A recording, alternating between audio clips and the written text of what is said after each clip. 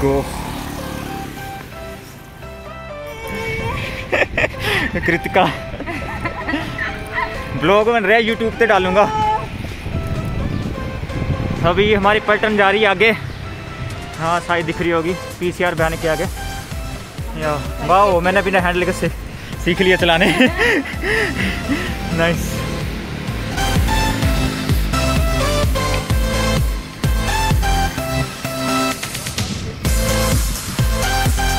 रही है हमारी पटना के। मेहर सर। पंद्रह सेक्टर सुखना लेक के लिए सारी टीम जा रही है।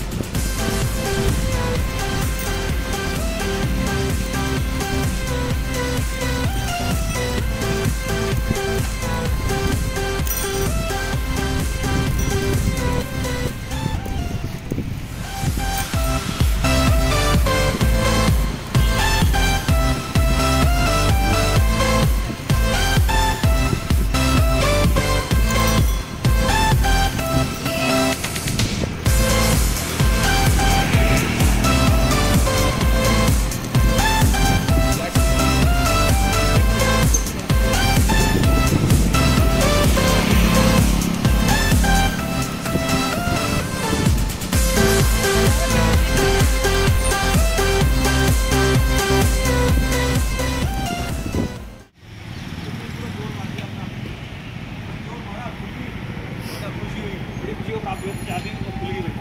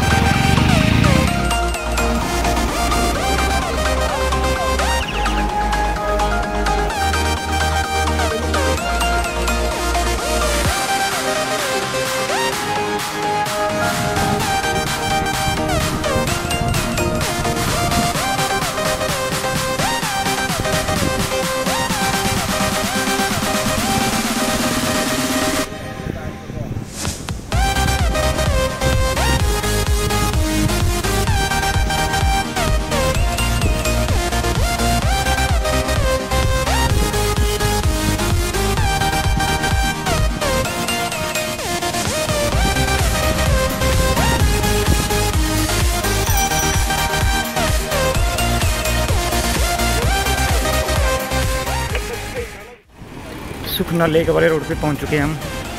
सर भी आ गए हैं।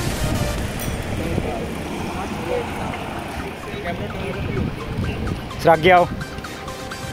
सर भी आ गए हमारे साथ में। सुखना लेक बस। या cyclothon. Cyclothon rally.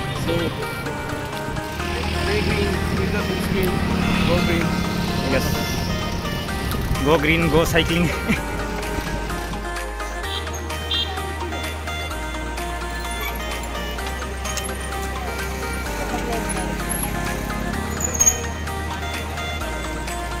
हम पहुँच गए हैं लेक पे फाइनली लेक जस्ट ये रही आगे।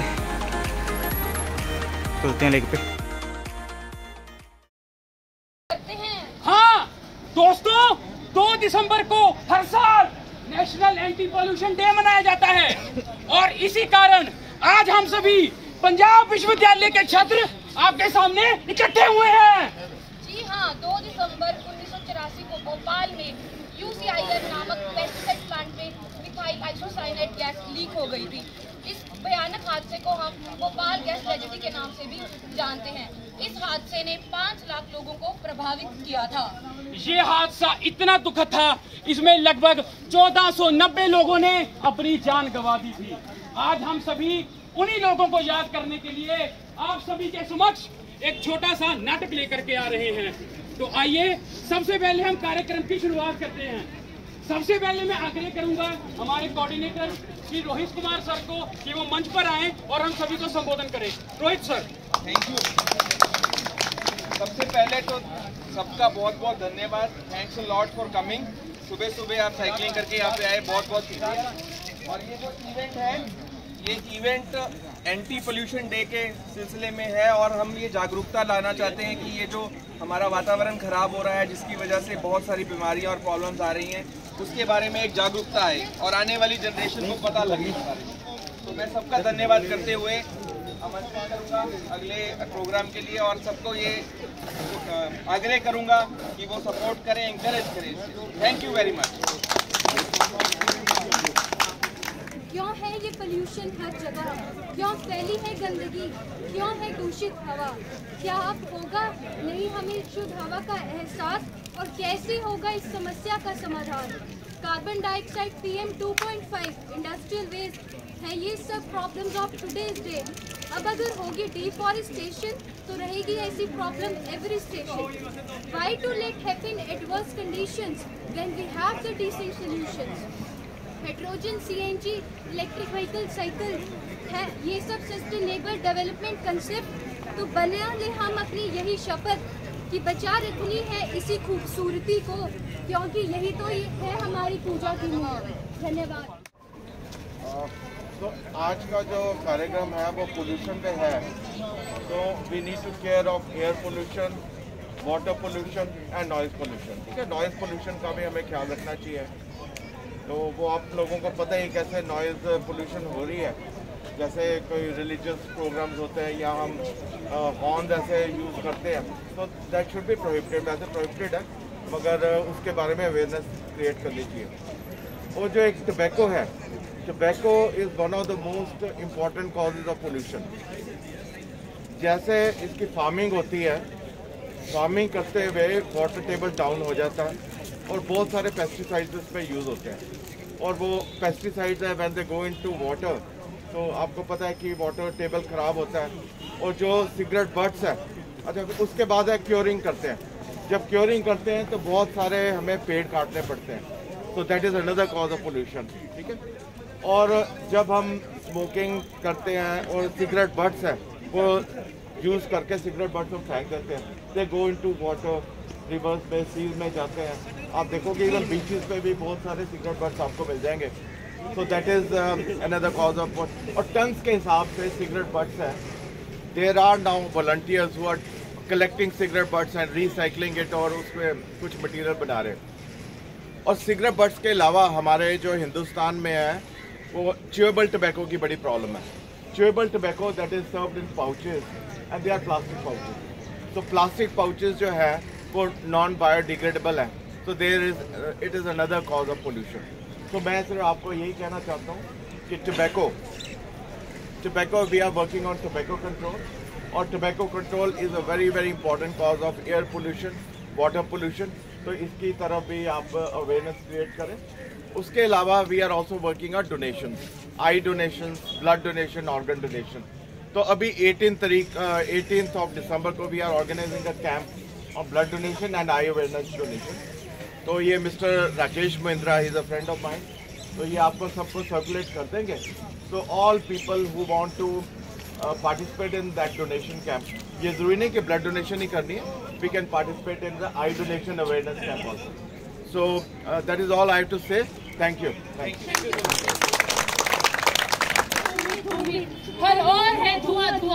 पर्यावरण का आवरण है। इस कदर दूषित हुआ। हे प्रदूषण! हो प्रदूषण हे प्रदूषण हो प्रदूषण प्राण देने वाली हवा में जहर है, ये कैसा कहर है, ये कैसा कहर है? धुएँ से घुटता धरती का दम क्यों प्रदूषण प्रदूषण, ये आठों पहर है, ये कैसा कहर है, ये कैसा कहर है? जिस ओर देखो प्रदूषण प्रदूषण। बर्बाद हो रहा धरती का पर्यावरण। है जल भी प्रदूषित। इंसान का लालच देख हो रही है धरती अचंभित। सेहत से जाने खुदा का पहर है ये कैसा कहर है? ये कैसा कहर है? प्रदूषण ओ प्रदूषण। हे प्रदूषण। ओ प्रदूषण। नारायण नारायण। ब्रह्मा जी कहिए कैसे स्मरण किया? नारद जी मैं एक बहुत बड़े भ्रम में हूँ। ये धरती पर जो प्रजाति मंडरा रही है जो दिख तो कुछ कुछ मनुष्य जैसी रही है। किंतु मैंने तो इसका इसका निर्माण नहीं किया। निर्माण नहीं किया था। तो ये कैसे उत्पन्न हो गई? अरे ब्रह्मा जी ये तो मनुष्य ही है। लेकिन फिर ये मनुष्य जैसे दिख क्यों नहीं रहे हैं? वो तो इन्होंने वायु को शुद्ध करने का एक उपकरण लगा रखा है। मास्क। अरे हाँ हाँ वही वही। वो क्या है ना? धरती की वायु इतनी ज़्यादा दूषित हो चुकी है कि इसको लगाना आवश्यक है। नहीं तो घुटता है दम दम दम दम दम दम घुटता है। ये बढ़ते कल कारखाने। ये धुआँ उगलती चिमनियाँ। सड़कों पे बढ़ती वाहनों की संख्या। कूड़े को जलाया जाना। और हवा में बढ़ती पीएम 2.5 और पीएम 10 की मात्रा। अरे अब ये पीएम 2.5 और पीएम 10 किस चिड़िया का नाम है? ये हवा में उड़ते कण हैं जो कि मुख्य तौर पर वायु प्रदूषक हैं। और इन सब का कारण? ये वायु का प्रदूषण। बन बैठा जान का दुश्मन। दम सांस सांस में फूले आख्या में होवे जलन। हो मन पल पल पल पल खौफ बड़ा ही सताए रे। हाय। ये लहर उठकर छाती मदमा बन जाए ये वायु का प्रदूषण। अरे मिसेस शर्मा जी। हाँ जी मिसेस वर्मा ये क्या शॉपिंग कर लाए हाँ? बस वो थोड़ी सर्दियों की शॉपिंग की है। ओहो मतलब स्वेटर जैकेट और कंबल? अरे नहीं नहीं एंटी पोल्यूशन मास्क और ऑक्सीमीटर पर ये सब क्यों? सर्दियाँ आने वाली है और किसान फ़सल काटेंगे और लगाएँगे परालियों में आग। पराली मतलब फ़सल के अवशेष कण पर इन सबसे क्या? अरे पिछली सर्दियाँ भूल गई मिसेस वर्मा। स्मोक और वायु प्रदूषण के कारण बच्चों के स्कूल तक बंद हो गए थे। ओहो इसका मतलब तो सरकार को पराली जलाने पर रोक लगानी चाहिए? रोक लगाने से क्या होता है? सरकार को कुछ विकल्प भी तो देने होंगे जिससे लोग अपनी ये नैतिक ज़िम्मेदारी समझेंगे। नैतिक ज़िम्मेदारी? हाँ, अब देखना दिवाली आएगी। ना बच्चों की सोचेंगे ना बूढ़ों की। और अपनी शान दिखाने को। भाई अर्ज़ किया है अर्ज़ किया है। हट जाओ हट जाओ। आगे रुपयों में लगा कर तमाशा हम भी देखेंगे वाजीवा हम भी देखेंगे अब हमें शहर की औसत बढ़ा कर हम भी देखेंगे हाँ जी हाँ हम भी देखेंगे अरे बड़े बूढ़ों की तकलीफ़ बढ़ती है तो बढ़ जाए। अरे अस्थमा वालों का दम घुटता है तो तो घुट जाए। धुएँ से आसमां को छुपा कर हम भी देखेंगे। हाँ जी हाँ हम भी देखेंगे। से धमाकों से जलाकर हम भी देखेंगे। हाँ जी हाँ हम भी देखेंगे। तो देखो दोस्तों, हमने गाने भी गा ली और कवाली भी कर ली। लेकिन अब हम आपको कुछ सच से अवगत करवाते हैं। अमेरिका और कनाडा, जहाँ जाने की इच्छा शायद हर भारतीय की होती है। अरे, हम सभी को इतना तो पता ही है ना कि ये कितने ठंडे मुल्क हैं। अब आपको इन्हीं मुल्कों की मैं इस साल की जुलाई की बात सुनाता हूँ। वहाँ पर तापमान इतना बढ़ गया कि एक विशाल हीट डोम ने जन्म ले लिया।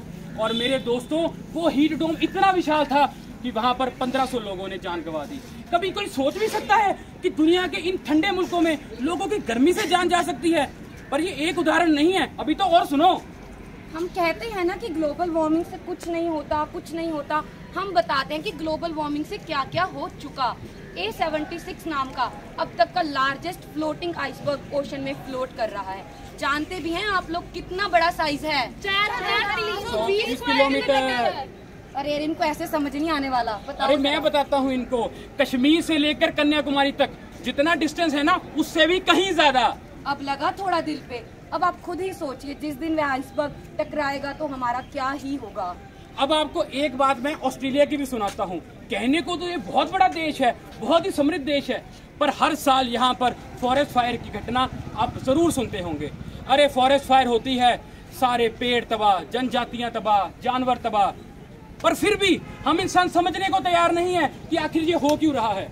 ज़्यादा से ज़्यादा लोग क्या करते हैं? समझते हैं, सीखते हैं, पर इस पर कोई काम नहीं करता। अभी हम आपको एक और उदाहरण देंगे। अब चलो अब प्यारे भारत की बात भी कर लेते हैं। बिल्कुल। उत्तराखंड का नाम सुनते पिलग्रिमेज साइट्स की नहीं फ्लड्स की याद आती है। हर साल की तरह अब तो ये आम बात हो गई है फ्लड्स का आना। इस साल भी फरवरी में फ्लड्स आए 500 से अधिक लोगों की जाने गई।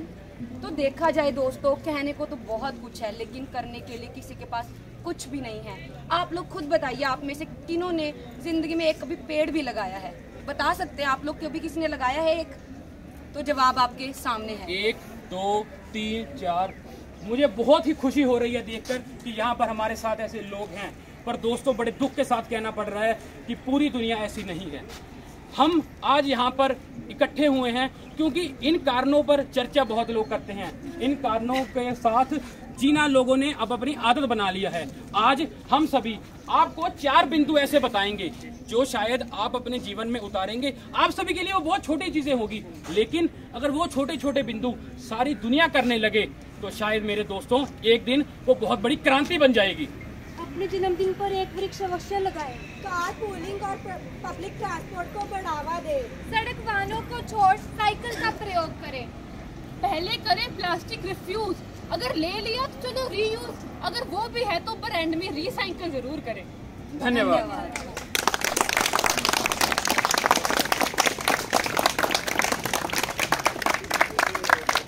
सबने बहुत ही अच्छी तरह से एफर्ट किया और सभी जो हमारे साथ जुड़े चाहे एक छोटा सा प्रयास है, लेकिन ये छोटे छोटे प्रयास बन के ही बड़े मूवमेंट बनती है। अगर आप जाएँगे अपने परिवार में, अपने दोस्तों को बताएँगे ये चीज़ें बहुत ज़रूरी हैं। क्योंकि हमारे आने वाले जनरेशन के लिए बहुत खासकर इन बच्चों के लिए आने वाले, हमारा समय तो एक तरह से चले जाएगा जल्दी, लेकिन ये बच्चों के और आगे जनरेशन का जो हम, हमें मिला है, वो हम आगे भी दें। तो इसी मैसेज के साथ thank you very much and let's spread the message thank you